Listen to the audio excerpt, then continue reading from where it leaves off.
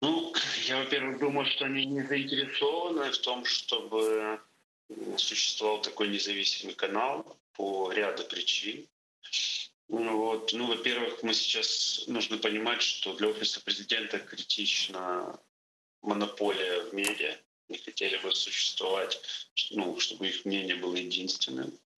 Вот потом я для себя сразу же запомнил, вот первое, что сделали, когда Зеленский пришел к власти, их там через Министерство культуры, это закрыли канал э, наш Иншимовлення. Помните, такой был угу. канал, который рекламировался на другие государства. Вот. Вместо него нам пообещали телеканал «Дом», который полноценно так и не зафункционировал, потому что э, средств доставки на оккупированные территории у этого канала нормальных нет. Но там были большие проблемы с эфирами. Ну вот, э, поэтому я думаю, что они просто не заинтересованы в существовании такого канала. Возможно, это связано, ну, дело в том, что эм, телеканал ОТР смотрит в Крыму, телеканал ОТР занимает жесткую позицию по поводу Российской Федерации, оккупации, оккупированных территорий, э, российско-украинской войны, которая начала Россия. Это ну, не единожды озвучивалось и ведущими канала, и гостями. Вот. А наша власть на данный момент э, боится употреблять слова агрессия, агрессор, война. То есть нас называют та сторона, они, э, перемирие, режим тишины. Ну, то есть э, я так понимаю, что на данный момент просто не совпадают э, политические интересы. Но см- смотри еще, Мирослав, такая история, да? Э, Европа... Э, президент говорит про крымскую платформу. Э, настаивает, настаивает на том, что значит, Украина продолжает движение в Евросоюз и НАТО. Выходит резолюция Европейского парламента 11 февраля, в которой целая 60 статья посвящена значит, анализу тому, что делается, и точнее, что не делается в отношении Крыма и крымских татар. Перечислено все. Отсутствие закона о коренном народе, э, отсутствие изменений в Конституции в, в, ну, в название и сущность э, автономной республики Крым. Э, и там все-все-все плохо, там одно только они в конце сказали, что они одобряют значит, концепцию развития крымсатарской мовы до 2032 года. Но это, знаете, до 2032 года это либо Ишак умрет, либо Падишах, либо Хаджана Средин. Мы знаем эту всю историю. Это, конечно, хорошо как намерение, но мы полностью поддерживали, кстати, это намерение Министерства реинтеграции, но пока это все в будущем, да. В настоящем просто душится телеканал АТР. При этом там прямо сказано, не как-нибудь, а Евросоюз настаивает на том, чтобы власти полностью поддерживали телеканал э, коренного народа Украины АТР, написаны мы, э, наставит на выработке для того, чтобы Украина э, приняла устойчивый механизм финансирования, финансовой и технической поддержки. То, что они нам пытаются предложить, это не то, что неустойчивый механизм, это просто, но это открытое издевательство, потому что они выставляют деньги, предназначенные на, вот, на наше мовление, на конкурс среди структур, которые отказываются в этом позорном конкурсе участвовать незаконным. Они переводят деньги с одного кодировки э, субсидии на кодировку услуги и предлагает нам участвовать в, в конкурсах, наверное, на снятие каких-то роликов, там, Крымца Украина, Чешо, там, да, таких, как мы любим, да, вот эта формальная сторона дела. И еще, еще знаешь, что самое интересное? Сейчас, Мирослав, да, самое интересное, что они-то знают прекрасно, что наши основные расходы, они ни в какие конкурсы не вписываются. Это аренда помещения и оборудования в Киеве, вынужденная, так как мы канал «Беженец». Это аренда, это использование спутников для трансляции сигнала на Крым, который является безальтернативной. Там никакими конкурсами и роликами это не, не решается. То есть это фактически прямой курс на удушение, прямой, понятный. Они все понимают и они врут парламенту, врут э, западным партнерам, с издевочкой отвечают на вопросы одними и теми же вот этими абсолютно фейковыми формулировками, которые разбиваются просто одним щелчком пальцев. Айдер, ну ответ очень простой на твой вопрос. Скажи мне, пожалуйста, а где вообще сейчас звучит от нашей власти слово «Крым» кроме вот последних событий из-за того, что Европарламент выдает резолюцию на международных площадках. Это последний год вообще шли переговоры, оккупированные территории Донбасса отдельно, Крым отдельно, как в принципе Россия и мечтала. Где постоянные упоминания о Крыме в нормандском формате, когда этот нормандский формат был. Где эти переговоры? Их нет. То есть они даже бесплатно упоминать Крым не хотят.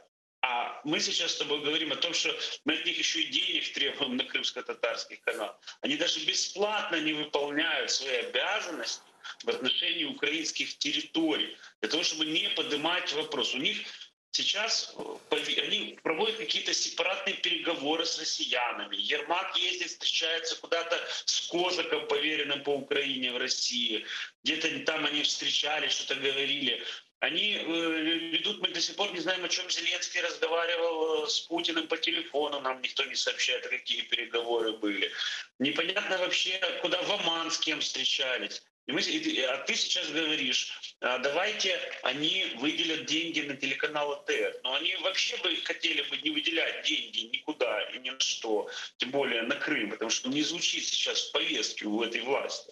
Но у нас с вами выход один, поднимать этот вопрос в СМИ, в обществе. Мы должны постоянно говорить о том, что Крым должен звучать во всех переговорах по оккупированным территориям, что телеканал АТР — это единственный вообще способ.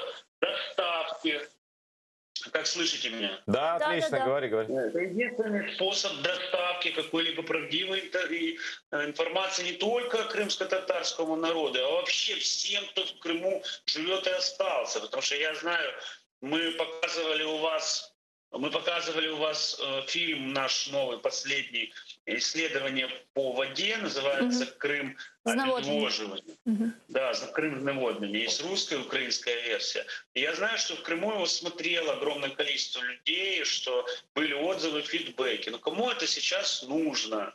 Ну, скажите мне. То есть они стараются ну, всячески мы, ну, мы видим, что идут на достаточно серьезные, по крайней мере, обещают уступки Э, у нас уже было отведение войск на Донбассе.